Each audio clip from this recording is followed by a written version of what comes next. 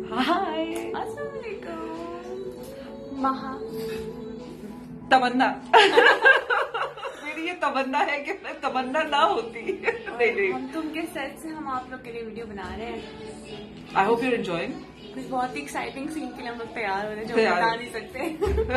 वो नहीं बता सकते। हम कुछ भी नहीं बता सकते इस वक्त लेकिन उम्मीद है कि आप हम तुम एंजॉय कर रहे होंगे है ना?